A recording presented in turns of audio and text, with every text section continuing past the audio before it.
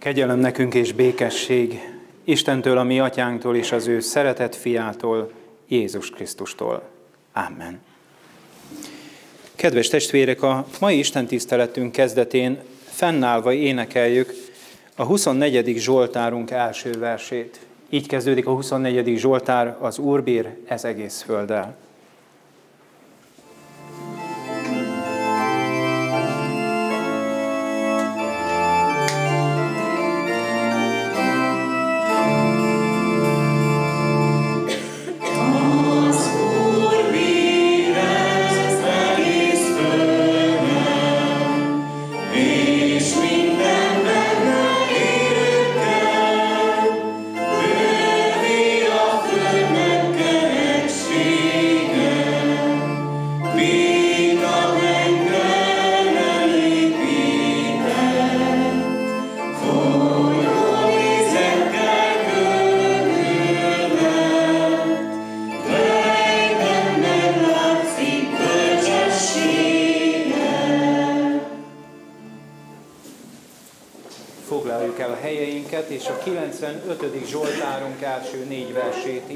Énekeljünk.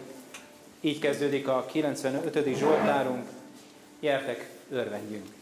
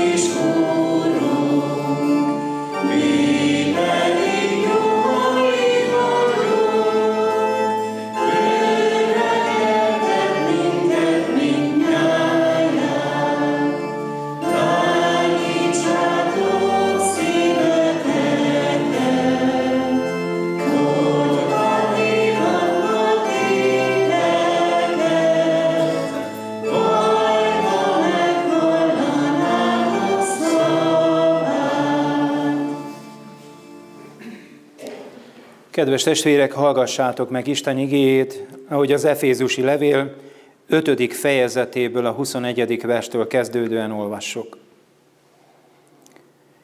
Engedelmeskedjetek egymásnak Krisztus félelmében.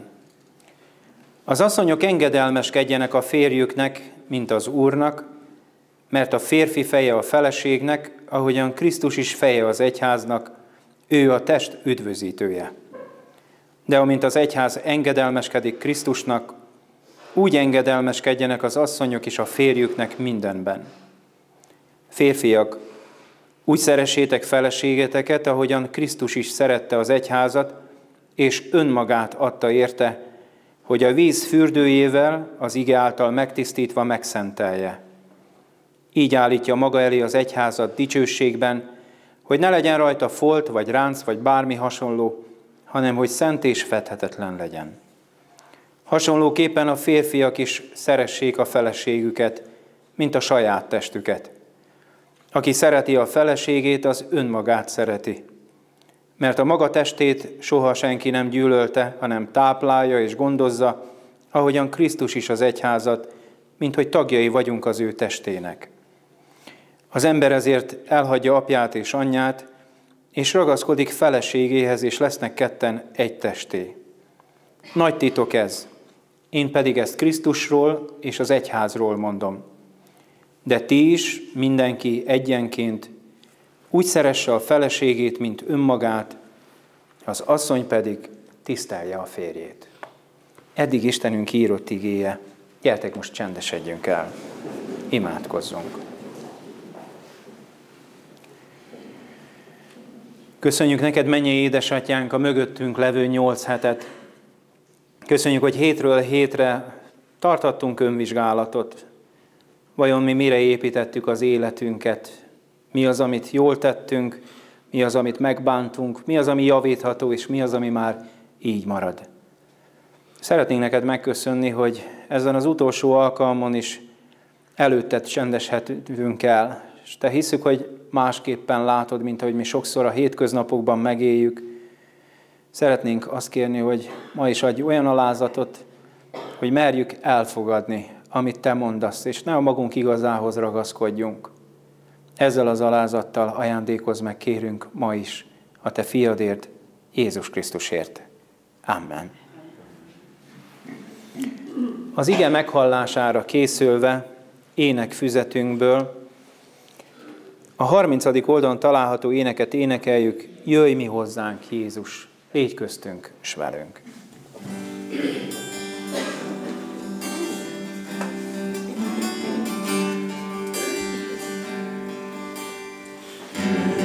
hozzánk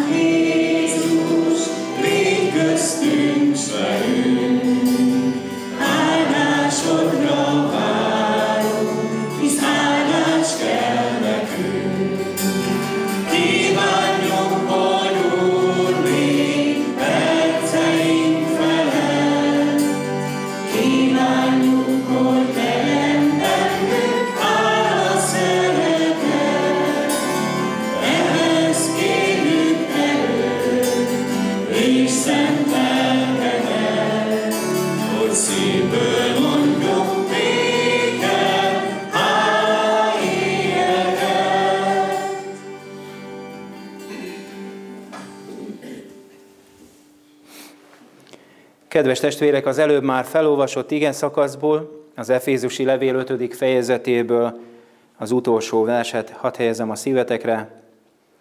Ti is, mindenki egyenként úgy szeresse a feleségét, mint önmagát, az asszony pedig tisztelje a férjét. Foglaljunk helyet.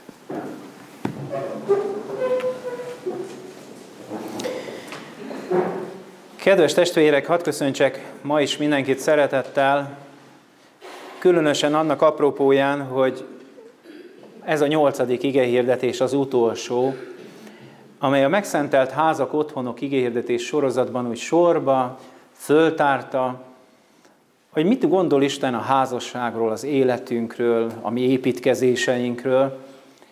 Ha emlékszünk, még nagyon-nagyon régen volt, amikor az alapot vizsgáltuk meg. Mire építettük az életünket, az eddigi évtizedeinket? A saját erőnkre, teljesítő képességünkre, anyagi helyzetünkre, vagy tudtuk ezt Krisztusra építeni? Arra, aki tegnap, ma és mindörökké ugyanaz. Aztán láttuk, hogy nagyon fontos, hogy erre az alapra mit építünk. Lehet aranyat, ezüstöt, pozdorját, szénát építeni, ez majd próbára lesz téve. Talán már ezt a próbát átélted, vagy éppen most éled. Láttuk azt is, hogy ha már építkezünk, akkor tető is kell, hogy védje a mi épületünket. Mi van akkor, hogyha ez beázik? Megismertünk egy nagyszerű ácsmestert Názáretből, ő képes arra, hogy helyrehozza az egyéni életünket is, a házasságunkat is. Jött egy vendégige hirdető, pedig az ajtókról, ablakokról beszélt, és ha emlékeztek rá, nem mindegy, hogy mit engedünk be az otthonunkba. Legyen egy fölfelé nyíló ablakunk is, amin az Istennek a világossága bejuthat hozzánk, hogy mi is tudjunk fölfelé tekinteni. És aztán láttuk azt, hogy kell ide bizony villámhárító is. Az a feszültség, amely bennünket a hétköznapokban ér, nem kell, hogy benne legyen az életünkben, hanem meg kell tanulnunk kezelni az élethelyzeteket. De azt is láttuk, hogy a legnagyobb villámhárító az maga Krisztus, aki az Istennek a haragját elvezette az életünkről, amikor a Golgotai kereszten elszenvedte helyettünk a büntetést, már nem bennünket kell, hogy ez érjen. Mentünk tovább.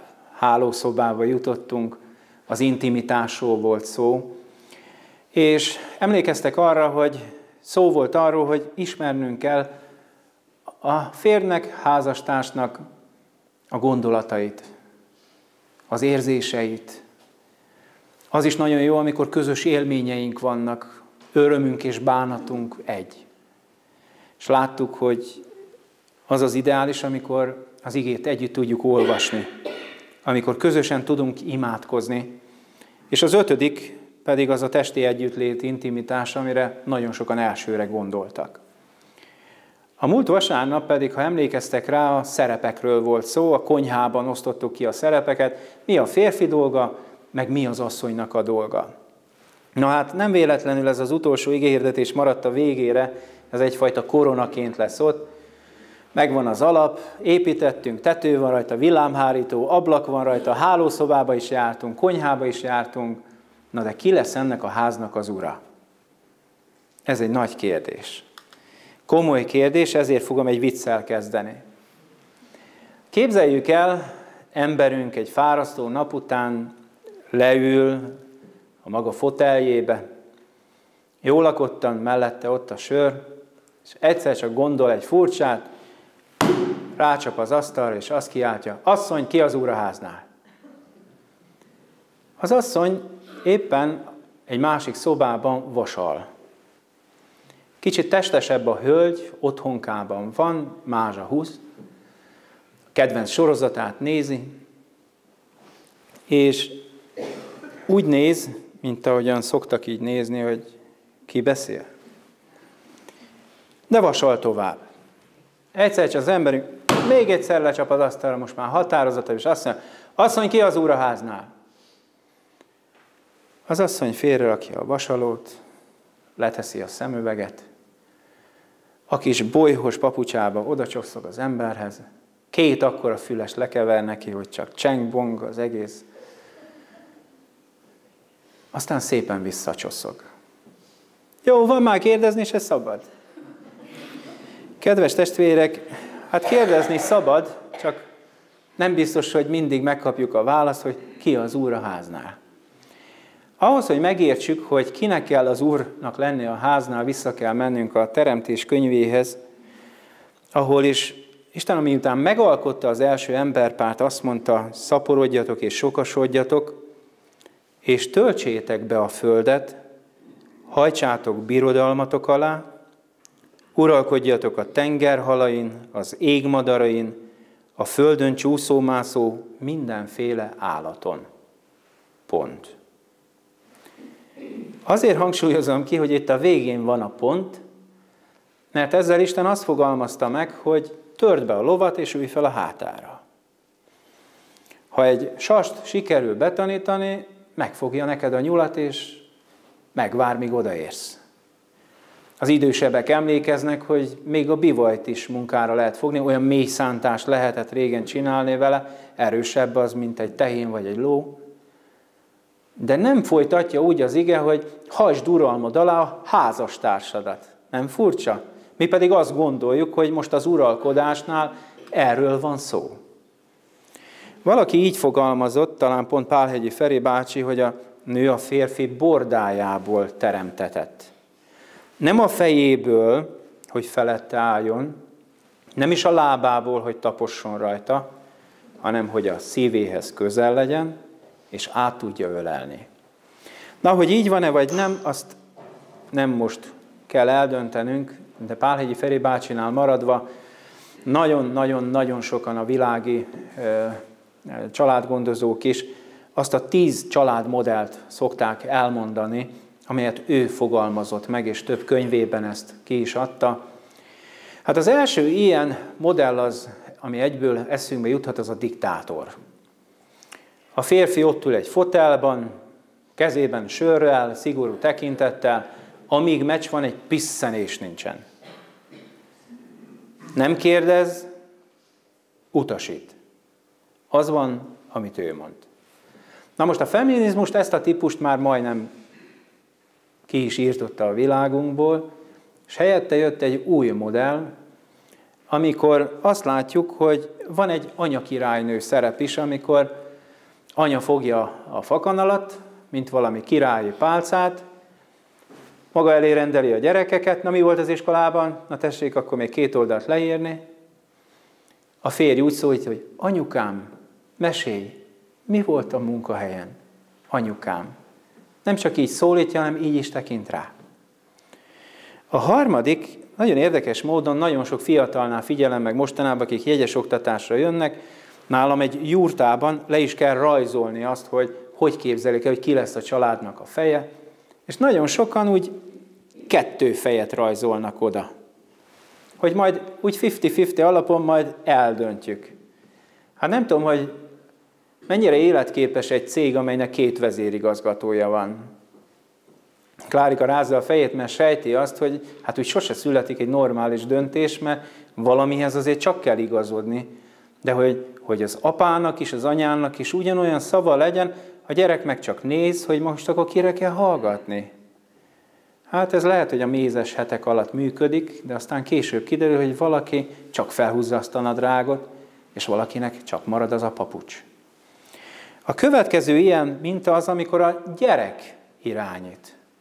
A gyerek az úr a háznál. Eljuthatunk egészen odaig, és főleg az egygyermekes családoknál nagy veszély ez, hogy a szeretett gyermek felnő, és ő irányít. És megkérdezik a szülők tőle, hogy na és szeretnél kis tesót? És ha azt mondja, hogy nem, akkor egyedül fog fölnőni. Egy gyerek a maga éretlenségével, élettapasztalatlanságával, gyermekdet gondolkozásával vajon alkalmas-e arra, hogy egy családot vezessen? A kérdésbe bele is tettem a választ. A következő az, amikor nem látjuk, hogy ki az úraháznál. Biztos láttál már falunapokon, vásárokon vagy cirkuszban ilyen kis marionett figurákat, egy kis madzag lóg le, és fölül nem látjuk, hogy ki mozgatja a szálakat, valószínű egy ember, aki az ujjaira kötött egy-egy madzagot, és akkor tudja a szereplőket, a bábokat mozgatni. Képzelj el egy anyóst. Vastag pénztárcával, amint a fiatalok házépítésénél egyszer csak megjelenik, és azt mondja, én tudnám támogatni ezt a projektet, vesző, de, és itt jön, mint a bankoknál az apróbetűs részének milyen feltételei vannak. És a fiatalok úgy mozognak az a pár millió forint, vagy pár százezer forint, ahogy mama szeretné. És hadd hagyjam a végére, hiszen nem sorolom fel mind a tized, de olyan csodálatos, hogy a Biblia arról beszél, hogy van egy pásztor vezető családfő, a férfi, amit Isten neki szánt, aki megy elől, felvállalva a vezetést, és a többiek pedig mennek. De ezt, hogyha egy képbe szeretném kiábrázolni, akkor azt kell mondanom, hogy akármilyen férfire nem lehet rábízni ezt a pásztor vezető szerepet, hiszen az igénynek az első nagy tanítása pontosan az, hogy ahogyan az asszony feje a férfi, a férfi feje Krisztus. Volt egyszer egy testületi gyűlésünk, és valaki valami nagyon nagy meggondolatlanságot mondott, szerintem végig, se gondolta, amit mond, és az egyik lelkész társunk fölkiáltott, apám, te egy fej nélküli lovas vagy. Hát jó, derültünk rajta, de igaza volt, hogy amikor nem gondolkozik az ész, amikor nincsen fej, hát akkor, akkor mi irányít? És képzeljétek el, hogy az ige arra tanít, hogy egy nő úgy tudja a férfi vezetését elfogadni, és magát nyugodtan ráhagyni, hogyha tudja, hogy az a férfi nem csak, hogy fölvállalta ezt a szerepét, de egyenesen követője annak a Krisztusnak, aki viszont tényleg jó irányba vezeti az ő életét. Kedves testvérek, először meg fogjuk nézni az asszony testvérek oldalát, és megnézzük a férfi testvérek oldalát. Két nagyon fontos dolgot mond az igénk az asszonyokról, ezt az igét hadd idézzem mind a kettőt, amint az egyház engedelmeskedik Krisztusnak, úgy engedelmeskedjenek az asszonyok is a férjüknek mindenben. 23. vers pedig ezt mondja, a feleség tisztelje a férjét. Tehát két dolog, az engedelmesség és a férj iránti tisztelet. Kezdjük ezzel a másodikkal. Ahhoz, hogy megértsük, hogy mit is akar az igénk üzenni, meg kell értenünk a férfiak működését. A férfiaknak nagyon fontos dolog az, hogy megbecsüljék, értékeljék, és nagyra tartsák azt, amit tesznek. El sem hiszitek azt, hogy egy fiatal férfi milyen komoly dolgokat képes, szinte mindent, azért megtenni, hogy elnyerje az édesapjának, az apa figurájának, a mesterének, vagy a főnökének az elismerését. Hosszú-hosszú évek telnek el, hogy mi bizonyítani akarunk, és ha már bizonyítottunk, akkor azt szeretnénk, hogy ez hallatszon el, hogy fiam, büszke vagyok rád. Képzeljétek el, amikor a férjed első számú rajongója te magad lehetsz. Nagyon fontos, hogy el tudod-e ezt a feladatodat látni a házastársad mellett. Ugyanis amikor azt hallja a férj, mit is kéne nekem elismernem? Hát dolgozok annyit, mint te. Még tán többet is. A férfi nem szól többet. Vagy amikor azt mondja, hogy is ne, még elbízza magát. Vagy amikor mond, mond a férfi valami olyan dolgot, amit meg szeretne csinálni, teljesen be van lelkesedve, na végre már örülnél, és akkor egyszer csak a gyerekek előtt szóvá teszed, ilyen hülyeséget, hát ettől fontosabb dolgunk is van. Ki kéne meszelni a konyhát, meg a spájzt. És a férj nem biztos, hogy vitatkozni fog veled. Csak egyszerűen azt veszed észre, hogy leoltottad a lelkesedését, nem értékelted a munkáját, az igyekezetét, és egyszer csak hátrébb lép egy párat. Tudod-e támogatni tiszteleted jeleként az ő elgondolásait? Hagyod-e, hogy vezető legyen? Hogy elől menjen? Hogy kezdeményezzen? Sokra tudod becsülni, nagyra tudod-e tartani azt az igyekezetét, hogy próbálja megélni azt, hogy férfi legyen, hogy betöltse a házasságban ezt a vezető szerepét. Mert próbálkozunk. Minden férfi úgy van vele, hogy nem tudjuk tökéletesen megtenni, de próbálkozunk. Bátorítást kap tőled a férjed, vagy elbizonytalanítod-e? Hogyan beszélsz róla másoknak? Elismeréssel, vagy pedig pocskondiázod. Hadd mondjam el Linda Dilónak egy történetét, nagyon megragadott.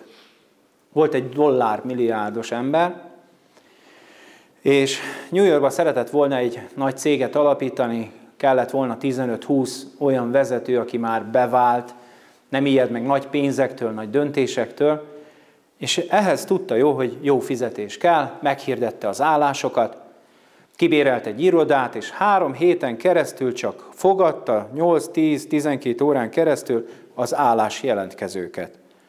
Jöttek ott olyan cégvezetők, hogy hú, még, még, még olyanokat nem is biztos, hogy ismersz. Egyszerűen alkalmasabbnál alkalmasabb emberek. Maradt 20 ember fönt a rostán. És ekkor ez a dollár milliárdos csinált egy furcsa dolgot, bekérette valamennyiüknek a feleségét. Hát jöttek ott olyan erőkelő hölgyek. kedvesen mosolyogtak, hát ha megnyerik ezt az állást a férjüknek, de ez a gazdag ember egy dologra volt kíváncsi, hogy támogatják-e a férjüket, ott vannak-e a hátországban stabilan mögöttük. Semmi más nem érdekelte. A legújabb divat nem érdekelte. Minket férfiakat amúgy se nagyon érdekel az, hogy milyen címke van itt hátul beragasztva. Ott vagy-e a házastárs mellett? Kilencen maradtak meg végül, de tudta jól ez a cégvezető, hogyha egy nehéz időszak jön, sok döntéshelyzettel, valahol ezekről beszélni kell. Valahol ennek a feszültségnek le kell menni. Amikor túlórázni kell, valakinek otthon tartani kell a frontot. Valaki olyan valakinek, aki szereti, vagy imádkozik érte, vagy meghallgatja, vagy felmossa, vagy, vagy bármi. Kedves testvérem, hadd kérdezzem meg, hogy tisztában vagy-e azzal, hogy a te férjed iránti tisztelet pontosan egyik megnyilvánulás az, hogy mellette vagy, és hagyod-e, hogy ő vezessen. Hadd mondjak el két bibliai példát, hogy lássad, hogy milyen az, amikor nincs mellette. Jobbról biztos hallottátok, hogy mindenét elvesztette, beteg is lett, összedőlt mindaz, amit épített, és egyszer csak, amikor a feleség oda ment hozzá, nem bátorítólag, megerősítőleg nyilatkozott, azt mondta, átkozz meg az Istent, és haj meg. Ennyit olvasunk Jobb feleségéről. Nem is kell többet tudnunk róla, azt gondolom. Jobb aztán Isten kegyelméből kilábolt ebből a mélységből, de nem az asszony miatt. A másik az, amikor Dávid hozza vissza a figyládát, és olyan öröm van a szívében, hogy abba a nagy melegbe gatyára vetkőzik, és szent táncot jár, elébe Mikál, hallgassak, mi történt. Mikál, Saul leánya kijött Dávid elé, és azt mondta, milyen dicső volt ma Izrael királya. Úgy mutogatta magát szolgáinak és szolgálói előtt, ahogyan csak félesző ember szokta magát mutogatni. Dávid ezt felelte Mikálnak, az Úr színe előtt jártam szent táncot, aki engem választott apát helyett és egész háza népe helyett, engem rendelt az Úr népének, Izraelnek a fejedelmévé. Igen, az Úr színe előtt. És ha még ennél is jobban megalázkodom, és még alávalóbb leszek önmagam előtt, akkor is tisztelni fognak a szolgálók, akiket te emlegetsz. És figyeld, most jön a lényeg, ezért nem lett gyermekem Mikálnak, Saul leányának, holta napjáig. Amikor királynőként odaállhatott volna a férjem és együtt törül, mások előtt kigúnyolta. Dávid megadta frappánsan a választ neki, de utána nem ment be hozzá, nem is született gyermeke. A férjed nem biztos, hogy mindig tányért fog haigálni, meg üvöltözni veled, lehet csak annyit tesz, hogy hátrébb lép, valami kimarad a ti életetekből, és nem érted, mi ez a nagy hallgatás, mi ez a csend. Tudsz-e odaállni a férjed mellé? Tudsz-e a férjed első számú rajongója lenni? Nagyon nagy bajba leszel, hogyha éveken keresztül nem adod ezt meg a házastársadnak, és egyszer csak egy titkárnő megáll vele szembe, és azt mondja, wow, micsoda férfi. És emberünk, aki évek alatt nem hallott semmi jót tőled, csak mindig a korholást, hogy mennyit keresel, meg mennyit vagy távol, meg sose figyelsz rám, meg sose hallgatsz meg, egyszer csak talál valaki olyat, aki azt mondja, wow. És komoly bajait származnak ebből. Amit kér Isten másodszor tőled, nem csak ez a fajta tisztelet, a másikra való fölnézés, hanem az engedelmesség. Hát az előbb látnotok kellett volna az északi templomba, figyeltem az asszony testvérek arcát, hogy ez az engedelmesség. Hát jó, hogy nem már megmondja nekem, hogy mit csináljak. Na most, amikor ilyen uraságról beszélünk, akkor, akkor lehet, hogy így nehéz elfogadni, hogy valaki más mondja meg, de ezt most tegyük félre. Hanem idézd fel magadban, amikor társas, társas táncot tanultál. Amikor megtanítottak egy alapbeállásra, és lányként ott álltál egy fiatal férfi oldalán, és arra vártál, hogy egyszer csak meginduljon, tegyen egy lépést, és akkor te a könnyed lépteide fölvetted az ő ritmusát, irányát, és vezetett. De ha nem ez történt, akkor koszos lett a cipő, mert ráléptél, esetlenül bukdácsoltatok a táncparketten, meg még a tánctanár is rátok szólt, hogy nem így működik.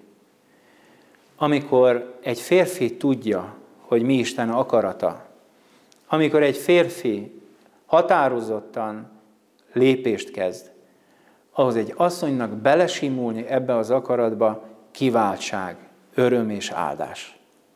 És sokkal inkább így lásd a te engedelmességedet a házasságban, ha van egy olyan férjed, aki az úr útjain jár, és őt követi, hogy akkor menjünk, és szép lesz az a tánc. Jó, na, a hölgyek fölélegezhetnek, jönnek a férfiak. Hallottam a sóhajt. A férfiakról, tehát azt tudtuk meg, hogy meg kell maradnunk Krisztus vezetése alatt. Tehát ahogyan az asszony feje a férfi, a férfi feje pedig maga Krisztus. A másik fontos dolog, amit tennünk kell, hogy úgy kell szeretnünk a házastársunkat, ahogyan Krisztus is szerette az egyházat. Hogy aztán megszenteli, hogy mindenféle sömörgést, meg folt nélkül való legyen. Ez azt jelenti az én olvasatomban, hogy Krisztus úgy szerette az egyházat, hogy akkor meghalt, amikor mi még bűnösök voltunk. Tehát nem lettünk makulátlan, tiszták, bűntelenek, és akkor Krisztus azt mondta, na végre egy gyöngyszem, itt van a sok 7 milliárd ember közül, olyan, aki semmi bűn nem követ. A bűneinkkel együtt szeret. És itt hadd mondjam el egy másik nagyon érdekes mondatot, hogy nagyon sokan úgy gondolják, hogy akit szeretünk, azt kell elvennünk feleségül. Hát én mai észre azt mondom, akit elvettünk feleségül, azt kell szeretnünk. Ez egy komoly feladat. Ez egy komoly feladat. A maga hibáival, feltétel nélkül, nem egy napot, 40 évet, Ásó kap a nagy harang. Na ez a küldetés, ez a férfias kihívás. Azt is olvassuk az igében, Péter első levelében, hogy megértőeknek kell lennünk. Ti férfiak is megértően éljetek együtt feleségetekkel, mint a gyengébb féllel, adjátok meg nekik a tiszteletet, mint örökös társaitoknak is az élet kegyelmében, hogy a ti imádkozásotok ne ütközzék akadályba. Na hát ez a mondat egy másik prédikáció lehetne, Először is legyünk megértőek. Értjük mi a feleségünket? Amikor azzal viccelődünk, hogy ugye használati utasítás férfiakhoz, és akkor egy A5-ös lap egyik oldala félig írva. Használati utasítás asszonyokhoz, két ilyen nagy kötetes könyv. Ezzel szoktunk viccelődni. Értjük, amit mond? Értjük, ami a mosolya vagy könnyes szeme mögött van, az a rengeteg érzés. Van időnk meghallgatni a gyengébb felet? Kedves testvérek, az élet kegyelmében ők is részesednek, ha meg házastársak vagyunk, akkor együtt részesedünk ebben a kegyelemben, hogy Isten nekünk megbocsát, és meg kell bocsátanunk egymásnak is. Azt mondja Jézus János evangéliumában, az az én parancsolatom, hogy úgy szeressétek egymást, ahogyan én szerettelek titeket. Férfiak, odaállunk Isten elé, átéljük, hogy Isten mennyire szeret bennünket, odaállunk a feleségünket, és úgy szeretjük, ahogyan minket szeret Isten. Hát ez nem megy a vele való kapcsolat nélkül. Nem tudok úgy szeretni Krisztus, ha nem tőle tanulok, ha nem ő a mesterem, a vezetésed az nem zsarnokság, hanem szolgálat kell, hogy legyen. azt is olvassuk az igében, úgy kell gondoznunk a feleségünket, mint a saját testünket. Ez a róla való gondoskodás, ez jelentheti azt is, hogy hazahozzuk a pénzt, van miből a gyerekeket etetni, van miből ruházkodni, biztos a megélhetés. De ez a gondoskodás, most hadd hasonlítsam ahhoz, hogy te fogsz egy paradicsom palántát, kiteszed a kertbe, és úgy hagyod. Ha nem gondoskodsz róla, nem eszel paradicsomot, csak konzervet. Ha gondoskodsz róla, ki fog virulni, sokáig terem, gyönyörködni fogsz benne, ezt a gondoskodást Isten ránk bízta. Olyan jó lenne látni, hogy a mai vigehirdetés után néhány hónap múlva kivirul melletted valaki, mert elkezdted gondozni a házasságodat. Hát én úgy nézem, hogy a végére értünk, nem csak ennek az hirdetésnek, hanem a sorozatnak is. De még mindig akkor nézzük meg, hogy ki legyen hát ennek a háznak az ura. Ki legyen az életednek az ura. Ki legyen a családodban az úr. Hát én azt kívánom, hogy legyen az a Krisztus, aki ezt az egészet meg tudja alapozni, meg tudja építeni, helyre tudja állítani, meg tudja szentelni, meg tudja őrizni nehéz időszakokban. Be kell tudnunk őt hívni, engedni, hogy ő vezessen, az ő szabályai, akarata érvényesüljön, és valóságá legyen, amit én egy kárpátaljai házban láttam, egy kis táblára írva, az volt kiírva ez a három sor, Krisztus a gazdája ennek a háznak. Láthatatlan résztvevője minden együttlétnek, és csöndes hallgatója minden beszélgetésnek. Amen. Gyertek most ráfelelő énekül, ének füzetünk hatodik oldalán található énekét énekeljük. Válasszatok, addig, míg tartam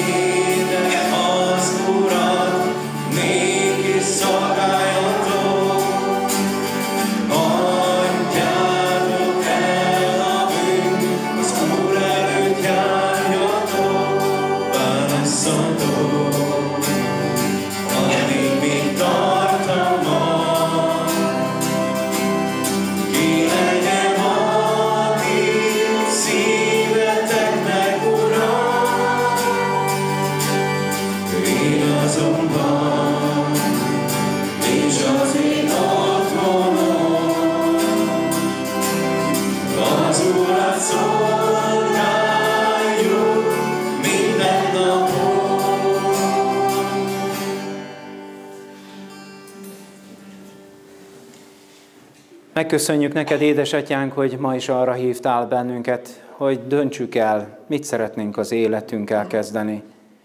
Szeretnénk megköszönni, hogy ehhez az elmúlt hetekben nagyon sok hívás elhangzott. Gondoljuk végig, értékeljük és lássuk meg, mi az, ami nem működik, mi az, ami változásra, javításra szorul. Talán egy új alap kellett, vagy új tető. Szeretnénk megköszönni neked mindazt, amit tanulhattunk ma is az engedelmességről, a vezetésről. Szeretnénk áldást kérni mindazokra, akik hallották ezeket az ige hirdetéseket. Szeretnénk, ha eldőlne az ő szívükben is, hogy ki legyen az életüknek az Ura. Hiszük, hogy a te szent lelked munkálkodott és munkálkodik most is. Így szeretnénk megköszönni a mögöttünk levő időszakot, az éveket, az életnek azt a kegyelmét, amivel meg nem érdemelt módon bennünket megáldottál. Így szeretnénk hálás szívet kérni tőled, hogy tudjunk mindenért hálát adni. Amen. Mi atyánk, ki vagy a mennyekben, szenteltessék meg a te neved. Jöjjön el a te országod, legyen meg a te akaratod, amint a mennyben, úgy a földön is. Ami mindennapi kenyerünket, add meg nékünk ma, és bocsáss meg a mi védkeinket, miképpen mi is megbocsájtunk azoknak, akik ellenünk védkeztek. Ne vigy minket kísértésbe, de szabadíts meg minket a gonosztól, mert tiéd az ország, a hatalom és a dicsőség mindörökké. Amen.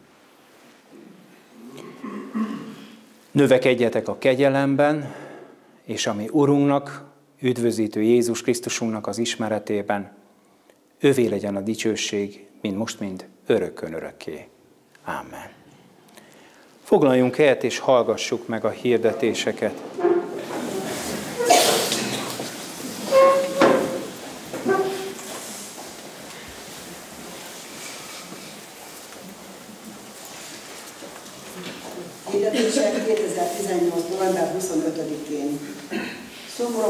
Hírt arról, hogy 67 éves korában távozott közülünk Barna Sándor testvérünk, aki a Martinovics utcában lakott.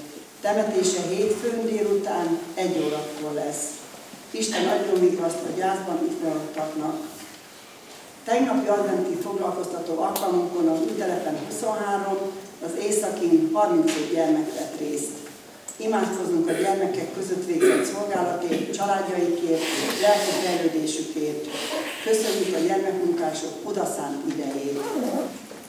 Tegnap női csendes nap volt a Kincsesházban. Tóth Veronika Abaújvári lelkésznő szolgálatával. Az alkalmon mintegy ötvenen vettünk részt. Vendégünk volt az Abaújvár nőtestvérek is. Az általuk készített ajándéktárakat a kiáratnál meg lehetett vásárolni.